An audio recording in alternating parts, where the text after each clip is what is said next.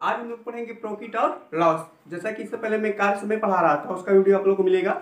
इसके साथ साथ हम लोग देखेंगे प्रॉफिट और लॉस का भी क्वेश्चन अर्थात लाभ और हानि का भी क्वेश्चन यदि हमारा वीडियो पसंद आता है तो वीडियो को लाइक करिए चैनल को सब्सक्राइब करिए और वीडियो को अधिक से अधिक शेयर करिए. चलिए हम लोग पढ़ना स्टार्ट करते हैं.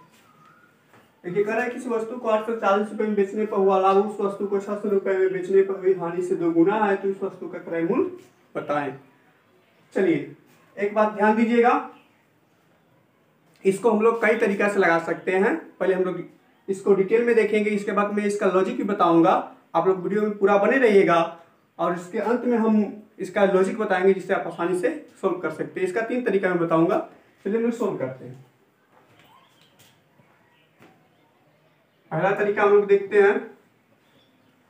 क्रय पूछा है ना? तो मानते हैं क्रय क्या है? माना वस्तु का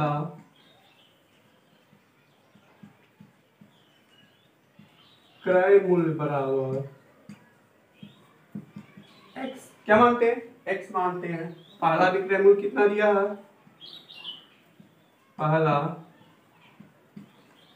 विक्रय मूल्य बराबर आठ सौ चालीस रुपए दिया।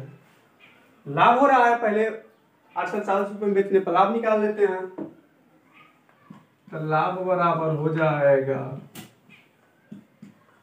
विक्रय मूल्य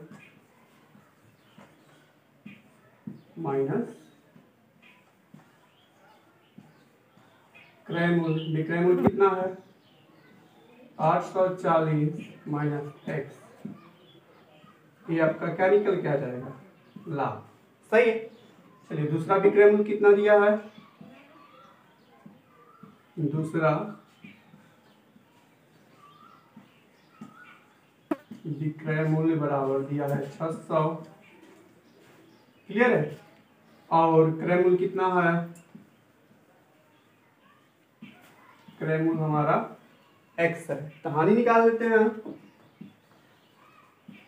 कहानी बराबर हो जाएगा क्रय मूल्य माइनस विक्रय मूल्य सही है? चलिए तो क्रय मूल्य कितना है? एक्स है। विक्रय मूल्य सौ। ये हमारा क्या निकल जाएगा? हानि निकल जाएगा। सही है? अब देखिए, प्रश्न में क्या कह रहा है? प्रश्न में कह रहा है कि जो लाभ हो रहा है, हानि का दो गुना है। चलिए पहले लिख लेते हैं, लाभ कितना हो रहा है? लाभ हो रहा है हमारा लिखेंगे प्रश्नानुसार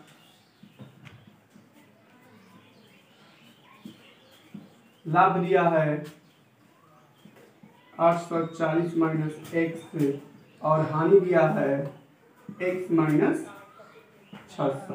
और समझ लीजिएगा, देखिए, बीच में बराबर का चिन्ह कब लगता है? बीच में इक्वल का चिन्ह कब लगता है? जब दोनों पक्ष क्या हो? बराबर हो। अब दोनों पक्ष बराबर कब होगा? ये बता दिया है कि लाभ जो है, इस हानि का दो गुना है। जब दो गुना है तो बराबर तो है नहीं। बराबर कब होगा?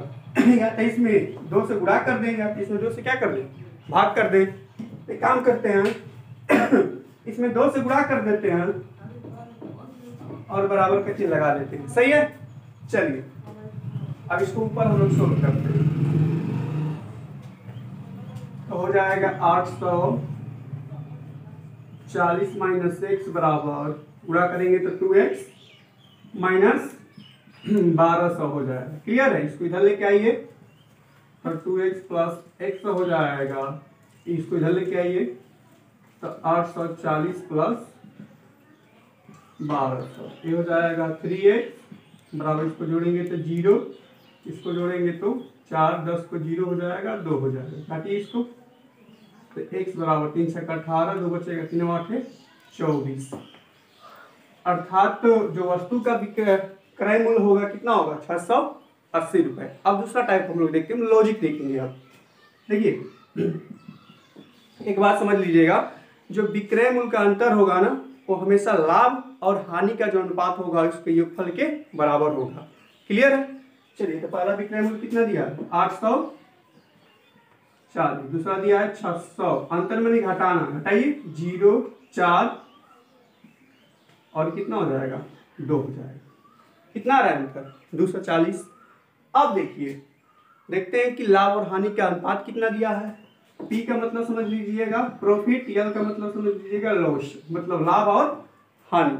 बता दिया है कि जो लाभ है, हानि का दो गुना है। अर्थात यहाँ पर टू रहेगा। और संबंध कितना? एक। सही है? अब देखिए, जो अंतर निकल के आया है ना, इसके योगफल के बराबर होगा। अर्थात दो प्लस वन बराबर हो जाएगा दो सौ चालीस। यानी कि तीन बराबर दो सौ चालीस कटिए इसको तो एक बराबर अस्सी। एक बराबर कितना आ रहा अस्सी आ रहा है। आप समझ लीजिएगा, एक बराबर अस्सी आ रहा है तो टू बराबर कितना होगा? यहाँ पर निकाल दे रहे। हैं लिख दे रहे हैं टू गुणे अस्सी बराबर गुणा कर देंगे तो एक सौ सात यहाँ पर लिख दे रहे हैं एक गुणे अस्सी बराबर अस्सी। अब समझिएगा, आठ सौ चालीस रुपये में बेच रहे थे तो हमको लाभ हो रहा है। कितने रुपए का लाभ हो रहा है? एक सौ साठ रुपये का। सात सौ रुपये में बेच रहा है तो उसको हानि हो रहा है। कितने रुपए का हो रहा है? अस्सी रुपए का हो रहा है। हमसे क्रय मूल्य पूछा है, तब देखिए क्रय मूल्य बराबर क्या होता है? विक्रय मूल्य माइनस लाभ। तो यदि इसमें से 160 को घटा देंगे तो क्या मिलेगा हमको क्रय मूल्य मिलेगा? अब देखिए, ये हानि है। तब क्रय मूल्य निकालना है तो क्या करेंगे? अब क्रय मूल्य निकालने के लिए क्या करेंगे? हानि को विक्रय मूल्य में जोड़ देंगे। तो हमारा क्रय मूल्य निकल जाएगा ना? आप समझ लीजिएगा। इसमें से यदि हम घटा दें एक सौ साठ तो कितना आएगा? छह सौ अस्सी। कितना आएगा? घटा के देखिएगा, छह सौ अस्सी आएगा। इसमें जोड़ दें यदि हम अस्सी तो कितना आएगा? छह सौ अस्सी। अर्थात यही हमारा क्या होगा? क्रय मूल्य होगा। क्लियर है? यहाँ पर भी छह सौ अस्सी है, यहाँ पर देख रहे हैं? छह सौ अस्सी, दोनों क्रय मूल्य है। आगे नेक्स्ट टाइप हम लोग देख लेते हैं। अगला टाइप भी देख लेते हैं। क्योंकि बताया था कि इसको तीन तरीके से बताऊँगा तो इसको क्या टाइप देख लेते हैं? देखिए, पहला विक्रय मूल्य कितना है? आठ सौ चालीस, दूसरा छह सौ। अब आठ सौ चालीस रुपए में बेच रहे हैं। तो उसको दुगुना लाभ हो रहा है। दुगुना क्या हो रहा है? लाभ हो रहा है। तो यहाँ पर टू हो जाएगा, यहाँ पर क्या हो जाएगा? एक हो जाएगा। अब त्रिया गुड़ा करिए इसका। इसका इसमें गुणा करिए, इसका इसमें गुणा करिए। दोनों को जोड़िएगा। इसमें गुड़ा करेंगे तो आठ सौ चालीस। प्लस इसमें गुड़ा करेंगे तो बारह सौ। और जो अनुपात है इसको जोड़ के बराबर कर दीजिएगा। तो टू प्लस वन इसको जोड़िएगा, कितना हो जाएगा? ज़ीरो इसको जोड़ेंगे तो चार इसको जोड़ेंगे तो ज़ीरो इसको जोड़ेंगे तो टू, इसको जोड़ेंगे तो तीन काटिए इसको कितना हो जाएगा? तीन छः अठारह, तीनों आठे चौबीस, अर्थात छः सौ अस्सी रुपये ये हमारा क्या होगा? क्रय मूल्य होगा। क्लियर है? तो आप इसमें से, इन दोनों तरीका में से किसी का प्रयोग करिएगा, ये तो हमारा बेसिक तरीका है। इसमें बहुत टाइम लगेगा। इसमें से आप किसी का प्रयोग करेंगे तो सवाल आसानी से लग जाएगा। यदि हमें वीडियो पसंद आया तो वीडियो को लाइक करिए, हमें चैनल को सब्सक्राइब करिए और वीडियो को अधिक से अधिक शेयर करिए। Thanks for watching